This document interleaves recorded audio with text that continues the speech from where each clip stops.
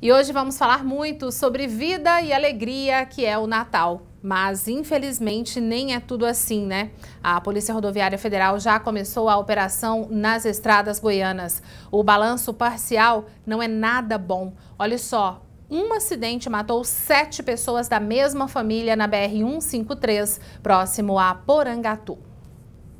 Apenas no sábado e domingo já foram 21 acidentes registrados pela Polícia Rodoviária Federal, envolvendo 28 feridos e o que mais assusta, oito mortes. São menos acidentes do que o ano passado, mas em contrapartida, a quantidade de mortes é o dobro.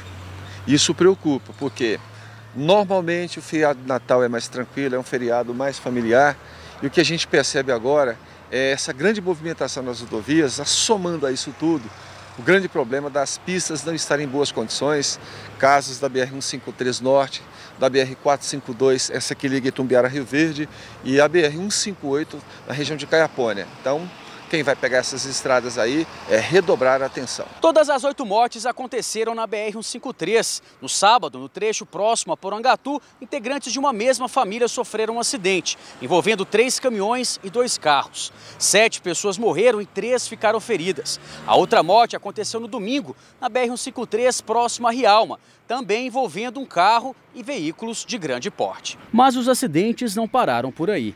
Na BR-452, em Rio Verde, esse carro capotou ao desviar de buracos na pista e as duas crianças que estavam no veículo só não se machucaram porque estavam usando a cadeirinha. Na BR-080, entre Barro Alto e Uruaçu, num carro, dois adultos transportando quatro crianças e sem cadeirinha foram abordados. A criança de um ano estava sendo transportada no colo da mãe.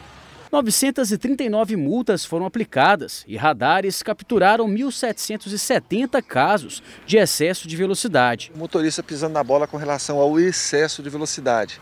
Só para se ter uma ideia, na tarde de ontem, quase 1.500 motoristas foram flagrados abusando da velocidade. E um detalhe, mais de uma centena deles com velocidade acima dos 50% do valor permitido por trecho. Eu até então, nesses 25 anos de polícia, não tinha visto nem ouvido falar num feriado tão violento. Na verdade, ele está se tornando num feriado muito mais violento do que os outros durante o ano inteiro. Durante a reportagem, acompanhamos diversos flagrantes de motoristas com farol desligado que seguiam viagem. Esse condutor, além do farol, ao ser abordado pela PRF, inclusive jogou o toco de cigarro ainda aceso no acostamento e tentou se justificar. Visto fumando, você nem percebe. Porque eu sei que é a polícia. Eu podia jogar o cigarro fora lá, para você ter uma ideia, né? Mas não, mas errei fazer o quê?